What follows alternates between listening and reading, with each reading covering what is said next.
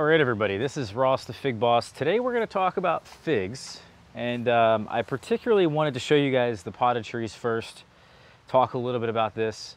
Uh, we're going to look at some of the in-ground trees as well, because um, kind of what's been going on this year, uh, as I've been looking around the patio, as I've been looking around at the in-ground trees, is that we're about a week behind this year. And I need to really check the actually the growing degree day chart which uh, I think Cornell has put out. Uh, we've talked about that in years past.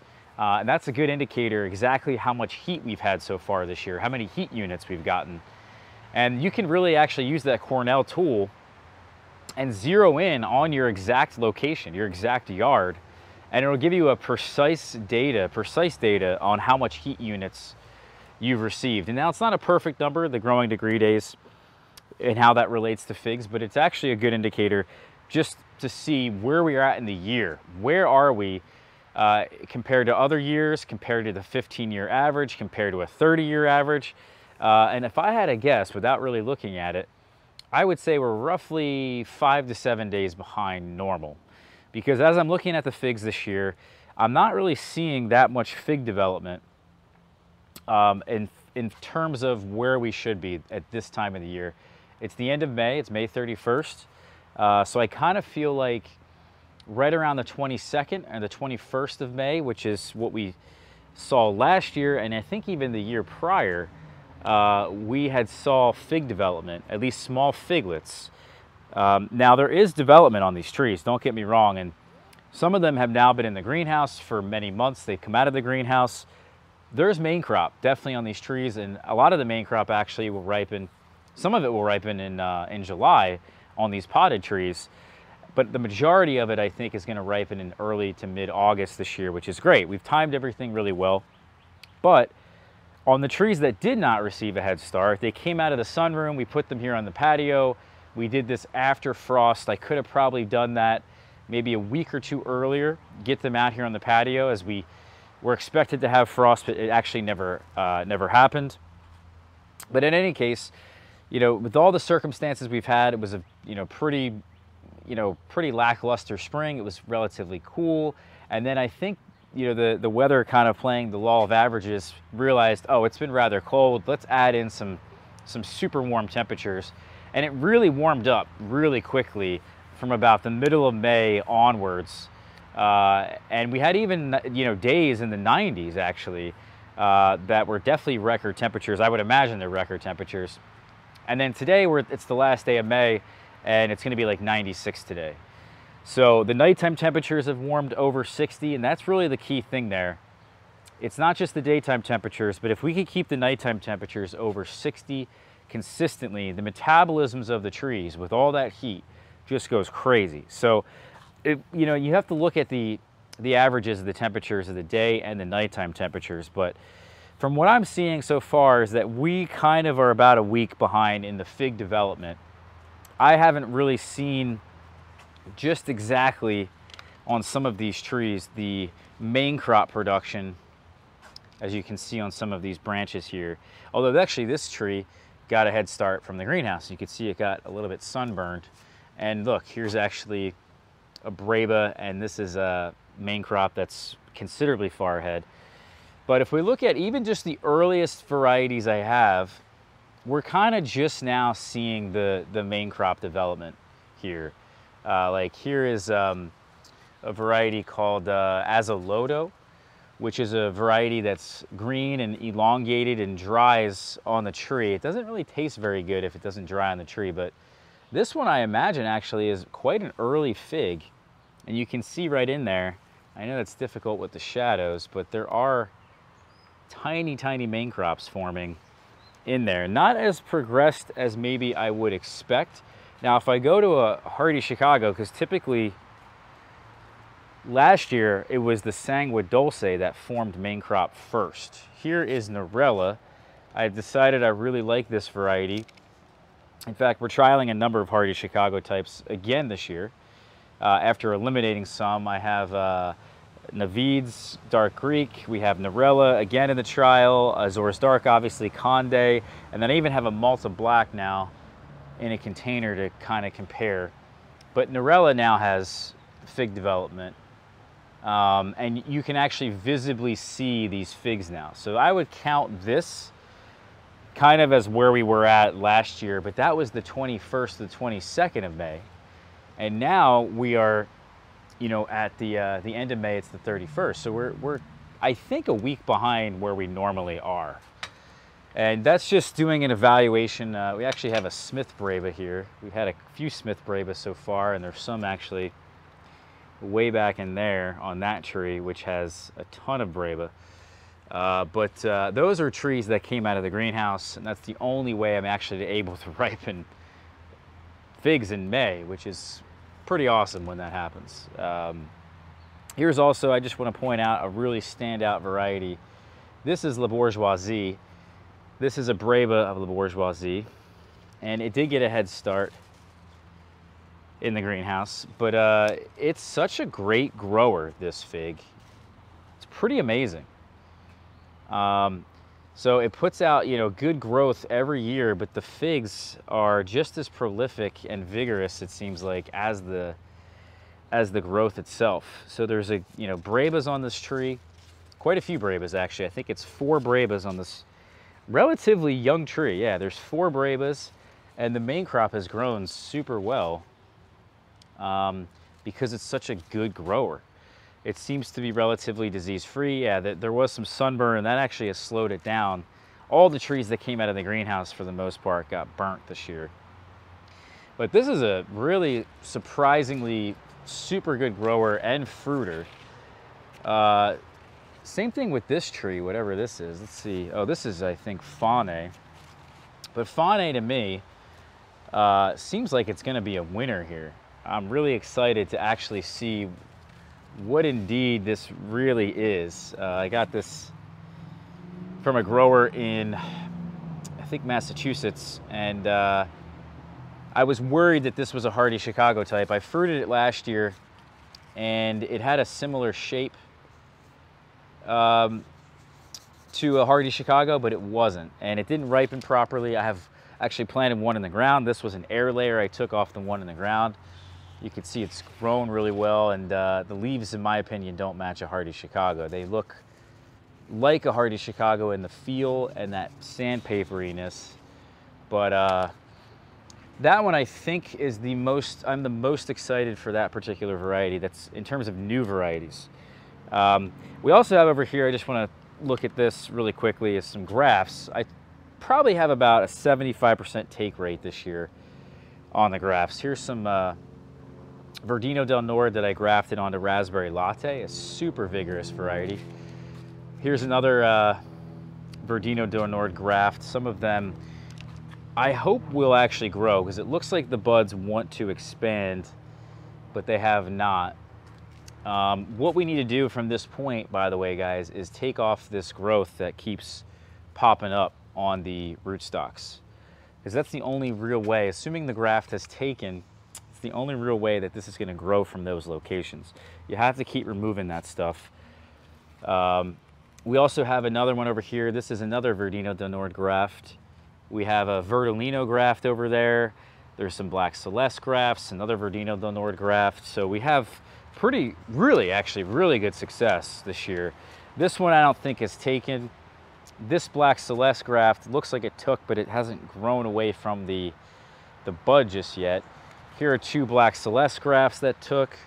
And then here's actually another Verdolino that took, and it looks like it really wants to grow away. Uh, these were all done, believe it or not, probably two or three weeks ago, roughly. I think it's been about two weeks, at least two weeks. So this is the amount of time it takes. We also had uh, even some over here that I, I was kind of really smart this year and I decided to graft onto some of the varieties that um, have dropped figs for me. So some of the varieties like Parola, Great Black is another one. Uh, Reculver from Thierry actually has dropped fruits for me. And uh, I decided to go ahead and graft, you can see a graft union down there that actually took a different variety onto those trees in the event that uh, they drop once again for me Here's actually the great black tree that I have. Here's a Breba on it, which I'm excited to see if that will ripen. Because this will give me an, an estimation of maybe it's a, you know, a San Pedro or a Smyrna, or maybe it'll be common, who knows. But I've grafted different varieties onto them in preparation for them to continue to drop. And it's worked out actually. I was really surprised to see that they took and they're actually growing away because the dominance not necessarily I thought was going to be there. Uh, so this is a really, a really nice thing actually. Um, the only thing I think left to do is to just kind of support these grafts. If the varieties indeed continue to drop figs like I, I'm predicting them to, uh, well then I'll just chop off the variety itself that is going to drop the figs. And keep the variety, of course, that I grafted. And then now I'm not wasting a season uh, realizing again that this tree is gonna actually continue to drop figs. We're also gonna experiment this year at some point with hand pollination. Uh, the Caprifig in the greenhouse uh, put out a number of Brebas Profichi.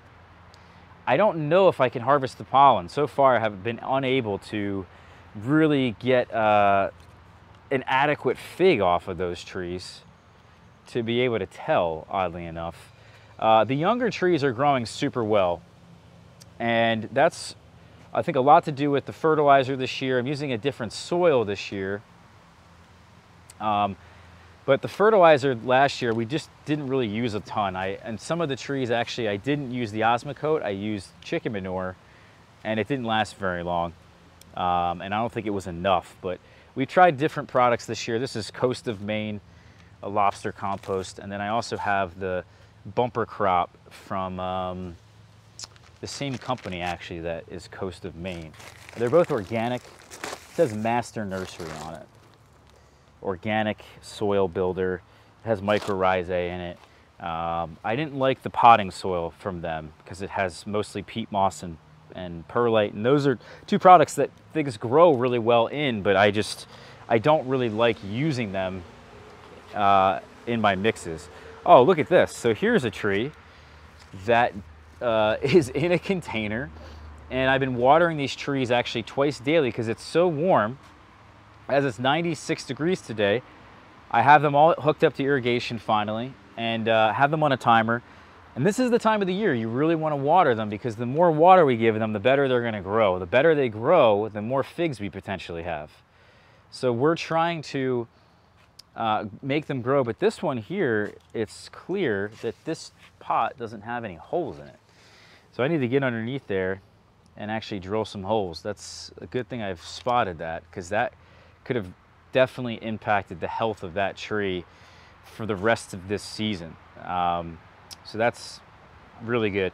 We also have melons, by the way, in containers. That's a whole experiment to see if I can get uh, really sweet melons by constricting and uh, limiting the water. Oh, I did want to mention all the way over here, totally forgot about this, but I've got some trees back here too. And uh, this is my Paradiso from Bode, and it actually has a number of Brebas on them. I cannot wait to taste these Brebas. They are massive, uh, so that's not good because they're probably going to split but we'll see what happens. Um, there's actually another graft back there. I grafted that on a Pell Fina, which translates to uh, fine skin. And that was supposed to be a really special variety, but it's been dropping for me. But I know that uh, Big Bill in Lancaster has ripened some fruit. So we'll see what happens with that variety. But I was like, you know what? Before I knew that knowledge about Bill, I was like, you know, I probably should plan ahead and graft something onto that. Over here, actually, these younger trees, like I said, I was getting to before, they really have grown super well. Um, and at this stage, I think with these younger ones, it's pretty simple. I'm just letting them go crazy, uh, letting them grow in every which way direction. When I come in here in the winter and the fall, when I do my pruning, I'll prune out the unhealthy growth. Maybe at that time, if it's just a very unhealthy tree, like I probably imagine this Papone here, will be unhealthy for the unforeseeable future, I will cut that back to something extreme and rejuvenation prune that. So some of these are a bit of a year, like a work in progress process, I should say, for uh, you know, many multiple years, but eventually we get something really healthy. And that's what you stick with as the main trunk of the tree. But there are some good uh, varieties in here that are rather new that I'm expecting good things from. Uh, actually, quite a few that I've already really had higher hopes for. I went ahead and already planted them in the ground. Uh, I had a number of spots we talked about with the in-ground trees that we, we looked at not too long ago. Um, I went ahead and actually planted in the ground some varieties that I have higher hopes for in terms of uh, them working out. I, already, I had so many spots in the ground. I probably had over 30 different trees I could plant. And I only had about eight trees that were in a position to be planted. Um, what I decided to do, this is a couple varieties really quickly. This is Lampeira 1. I actually have one in the container. The one in the container is gonna fruit uh, at an early date, whereas the in-ground tree I have on the other side of the property is probably gonna take some time and probably will ripen at the end of the year like it did last year and the year before. Uh, but for me, I'm like, you know what, I'll take some air layers, which I did, to kind of guarantee myself a little bit of easier uh, way of fruiting the tree. And that's what happened. So, but because that potted tree is gonna fruit, I decided, you know what, I'm gonna plant this other one in the ground because I know it's such a special variety. The other thing I've done is the same, same exact thing with this tree. This is Barnissotte from UC Davis. They're actually mowing the lawn next door right now. Uh, so that's why it's pretty loud. But um, Barnissotte from UC Davis, super underrated, not talked about variety. Uh, I'm seeing such huge potential in this variety from other growers that I just finally decided to take the leap uh, it took me years. I could have had this variety many, many years ago. The problem is it's not a very healthy tree. So there's a lot of fig mosaic virus, but this tree now I've had in a container for a year, planted it in the ground.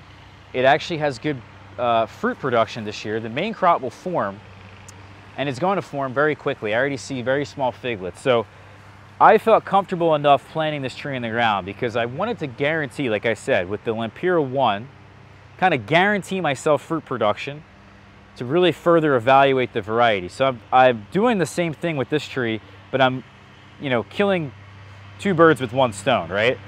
I'm getting the fruit production I wanted, but I'm also putting this in the ground, getting it more established so that next year, when we rejuvenation prune this, it'll be super healthy for the, the following years to come. Uh, so that's really critical for me, at least. And it's a, very similar situation with most of these varieties. Here is a Lazy that we planted. This is a variety that dries super well, and because of those drying capabilities, it's gonna do really well here. Uh, it does tend to split, I've heard, so we'll have to see how all that works out. Um, but uh, yeah, some other ones here is Bosco Rosso. This is a Nicky variety. I also planted, uh, what is this guy down here? Maybe this is Bosco Rosso here's the tag. This is, oh, Luisa's fig from Peter Kandari. Uh, this is a Staten Island unknown that's been in uh, an heirloom fig that to me looks like a type of Celeste.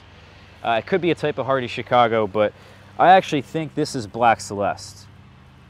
And believe it or not, I think Luisa's family, who this comes from as uh, a French origin, if I'm not mistaken, which is where Black Celeste has originated.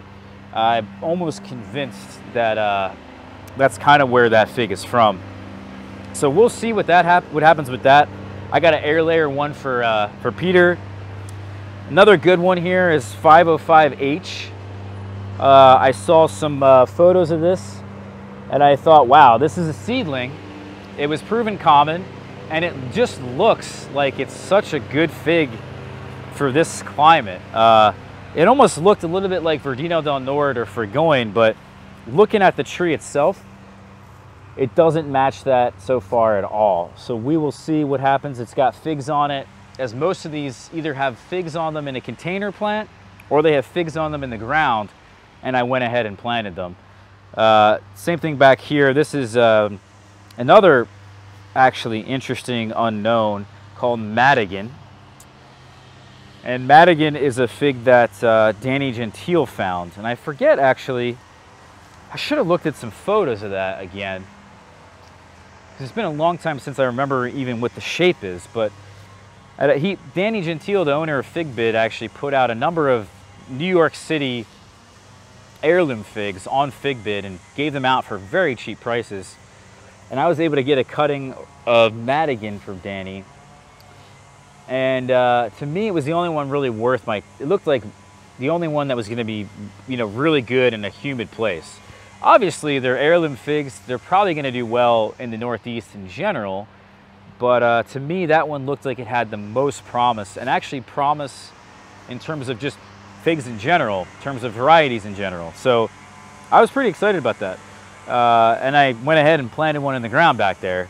Uh, we also planted, I know, an Ischia Black UC Davis air layer that I put in the ground. Um, but things are coming along here in the yard, even though considering, like I said, we are a bit behind.